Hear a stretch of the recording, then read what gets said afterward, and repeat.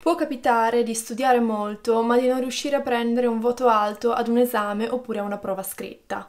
Ma ciò non succede se si studia nel modo giusto. Ciao amici, bentornati su Giugissima e benvenuti ad un nuovo video in cui parliamo di studio e preparazione specifici per gli esami scritti. Le prove scritte possono essere molto difficili da preparare, soprattutto a causa del tempo limitato a disposizione. Per questo motivo le prove scritte richiedono uno studio un pochino diverso e di alcuni accorgimenti che sono applicabili sia agli esami universitari sia alle prove eh, per le scuole medie o per le superiori. Sarebbe infatti un peccato studiare tanto e impegnarsi senza riuscire ad ottenere i risultati sperati soltanto perché si tratta di una prova scritta. Ammetto che anche a me una volta gli esami scritti spaventavano, ma poi da quando ho iniziato a mettere in pratica i consigli che oggi condividerò con voi, ehm, non mi hanno più fatto paura e sono riuscita sempre a superarli con il massimo dei voti. La base per la preparazione di qualunque esame scritto o orale è sempre un buon metodo di studio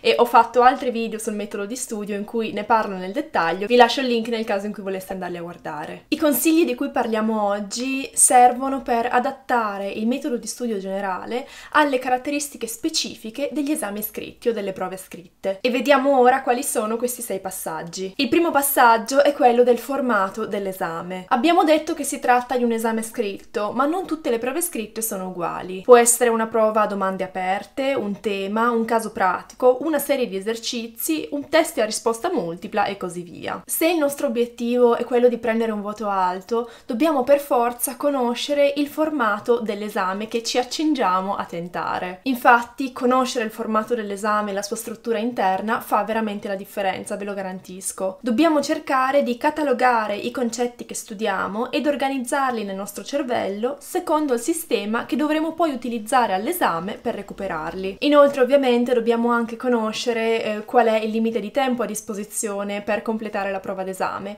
In questo modo riusciremo a orientare il nostro studio verso la formulazione di risposte più lunghe o più brevi a seconda del tempo che abbiamo a disposizione. Occorre quindi avere chiaro fin dall'inizio il formato dell'esame. Inoltre, se possibile, è molto utile procurarsi prove d'esame vecchie vecchie, spesso reperibili su siti online come Questiones, gruppi Facebook dell'università oppure chiedendo ad altri studenti che hanno già sostenuto l'esame. Infine, non c'è niente di male a chiedere al professore come sarà strutturato l'esame e quali sono le sue aspettative. Nei casi in cui sono riuscita ad acquisire informazioni sull'esame e magari anche a procurarmi eh, una prova, una vecchia prova d'esame, ehm, il mio studio è stato molto molto più facile. Con gli altri consigli sono comunque riuscita a superare esami esami anche quando non avevo a disposizione il format dell'esame, um, ma comunque nei casi in cui ce l'avevo a disposizione lo studio è stato molto più rapido. Il secondo passaggio è quello della lettura attiva. Si tratta di un passaggio fondamentale nello studio per qualunque tipo di esame, scritto o orale. Nel caso di esami scritti con più domande a risposta aperta, dobbiamo chiederci per ogni capitolo quali sono gli argomenti più importanti che potrebbero essere oggetto di domande. Di solito non si tratta di argomenti argomenti né troppo generici e vasti, dei quali non sarebbe possibile scrivere in modo esaustivo, né troppo specifici, dei quali non ci sarebbe abbastanza da dire per rispondere ad una domanda. Il mio consiglio è quello di scrivere su un foglio di carta oppure sul computer, io per questo utilizzo Notion, una lista di tutte le domande che ci vengono in mente quando studiamo. E per formulare queste domande ci dobbiamo basare sulla nostra conoscenza del formato dell'esame. In quasi tutti gli esami le domande non si concentrano su un solo argomento, ma spaziano su argomenti diversi, proprio per permettere al professore di comprendere se il candidato ha una conoscenza sufficiente di tutti gli argomenti d'esame. E lo stesso metodo è applicabile anche nel caso in cui il nostro esame si componga di esercizi da risolvere. Invece della lista delle domande dovremo compilare la lista degli esercizi. Quindi, mentre leggiamo, dobbiamo preparare questo elenco con tutte le possibili domande che riusciamo a formulare leggendo i materiali da studiare. Questo ci sarà molto utile per i passaggi successivi. Tuttavia il nostro studio non deve essere limitato alle domande che scriviamo, ma deve coprire tutti gli argomenti d'esame. Se però formuliamo bene le domande e ne formuliamo abbastanza, in realtà le nostre domande copriranno tutti gli argomenti d'esame, eh, ma ehm, conviene sempre evitare di lasciare fuori eh, degli argomenti dal nostro studio, perché per quanto bravi possiamo diventare a um, prevedere le, il tipo di domande che ci saranno all'esame, è sempre meglio non rischiare. Il passaggio numero 3 è quello dell'active recall mirato. Abbiamo ripetuto molte volte che uno studio efficace deve essere basato sull'active recall e non deve essere passivo. E ho spiegato nel dettaglio cosa significa active recall in altri video che vi consiglio di andare a guardare. Per quanto riguarda gli esami scritti, il nostro punto di partenza devono essere le domande che abbiamo formulato e che abbiamo scritto mentre facevamo la nostra lettura attiva. Inizialmente, subito dopo la lettura del paragrafo, dobbiamo provare a formulare oralmente una risposta alla domanda sulla base di quello che ci ricordiamo.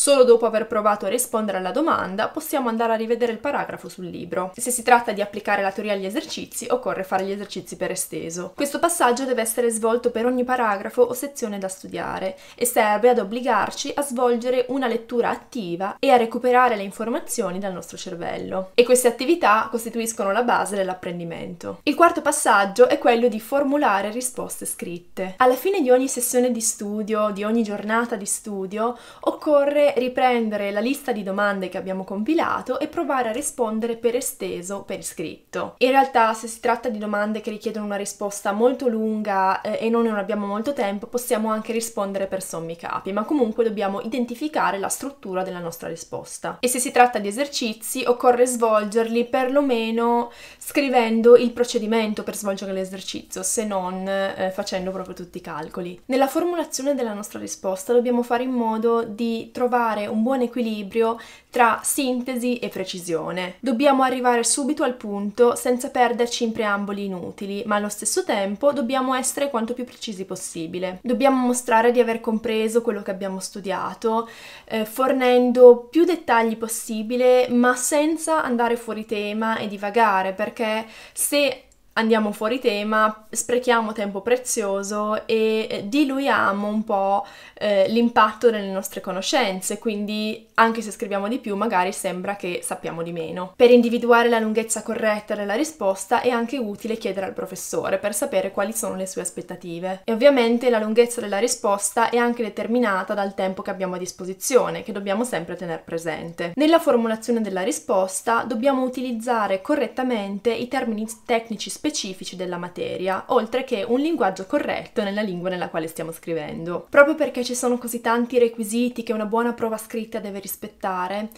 è molto utile, se non indispensabile, allenarsi molto a casa a scrivere queste risposte, le risposte alle domande che secondo noi potrebbero venirci presentate all'esame, in modo da non, do- non trovarci il giorno dell'esame seduti al nostro banchetto d'esame a improvvisare eh, le risposte e anche solo a improvvisare il formato delle risposte, dobbiamo prepararci prima. Il quinto passaggio è quello della spaced repetition. Come abbiamo detto più volte, ripetere una volta sola, fare active recall una volta sola non basta. Questo perché il fenomeno della curva dell'oblio ci fa gradualmente dimenticare quello che abbiamo studiato se non lo ripetiamo ad intervalli sempre più lunghi. Ho fatto altri video sulla spaced repetition, vi lascio il link così che possiate andarli a guardare ed avere più dettagli. Per le prove scritte, che siano a risposta aperta, multipla o basate su casi pratici ed esercizi, è utile riprendere la lista di quesiti che abbiamo preparato e provare a rispondere ad intervalli sempre più dilatati relazionati, secondo un piano di space repetition. La ripetizione per gli esami scritti deve essere fatta preferibilmente in forma scritta. Infatti, se ripetiamo soltanto oralmente, esponiamo gli argomenti, i concetti solo oralmente, rischiamo di dilungarci troppo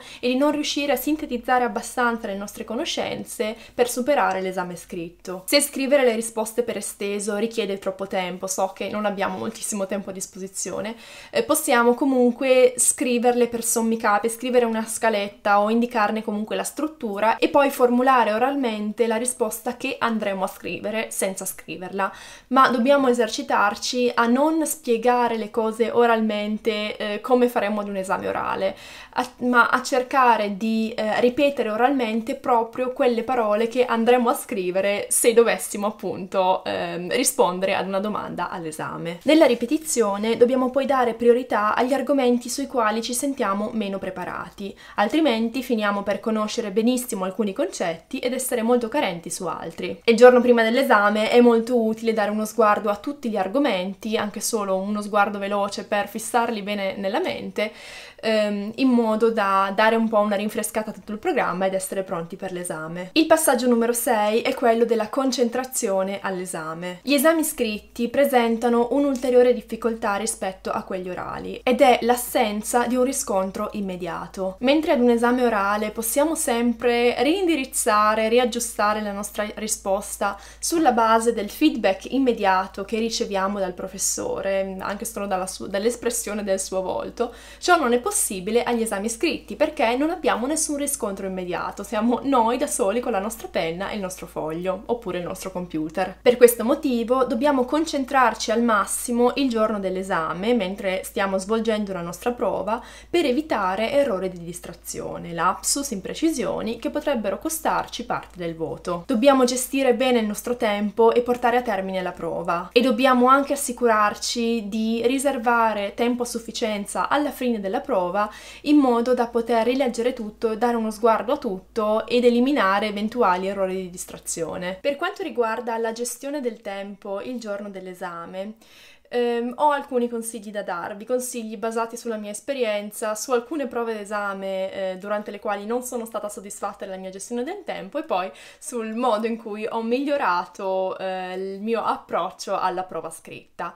Eh, prima di tutto io di solito do uno sguardo veloce a tutte le domande per eh, rendermi conto se ci sono domande delle quali proprio non so nulla, se ci sono domande più facili, più difficili. Dedico proprio un minuto, cioè pochissimo tempo, non è che inizio a formulare una risposta per tutte, soltanto l'impressione che mi dà la prova, anche per contare quante domande ci sono eh, e dividere bene il tempo.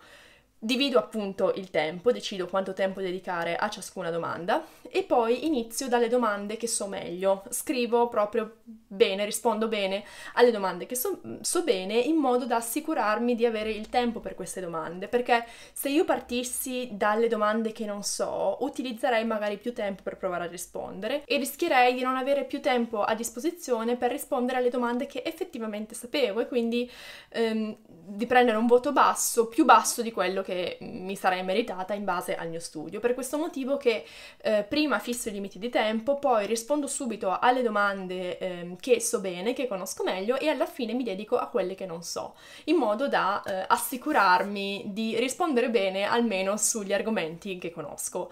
Ci sono diverse scuole di pensiero, c'è chi invece parte dalle domande più difficili per togliersele subito. Ehm, questi sono i miei consigli basati sulla mia esperienza e mi sono trovata molto bene, quindi spero che possano aiutare anche voi. So che ad alcune persone, me compresa, le prove scritte sembrano più difficili di quelle orali, ma con la giusta preparazione si possono prendere voti alti, si possono superare bene anche le prove scritte. Il principio da seguire è quello per cui il nostro studio deve imitare la situazione in cui ci troveremo all'esame. Non dobbiamo arrivare all'esame non preparati non solo sui contenuti ma anche proprio sulla forma dell'esame. Il nostro studio deve essere diretto a superare l'esame.